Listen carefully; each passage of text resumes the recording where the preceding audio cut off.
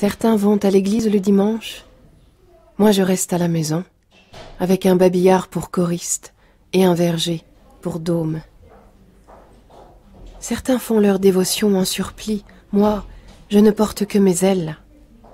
Et au lieu de sonner les cloches pour le service, notre petit sacristain chante. Dieu, éminent pasteur, prêche, et le sermon n'est jamais long. Ainsi, au lieu d'aller au ciel à la fin, me voici en chemin. Dès maintenant.